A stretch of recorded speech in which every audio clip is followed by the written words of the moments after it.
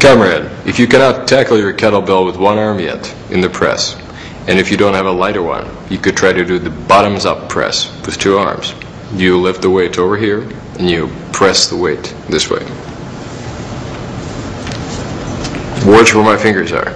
Keep your abs tight, keep your butt tight, like in all presses, on all exercises. Press. Pull it down, keep your shoulders down, press.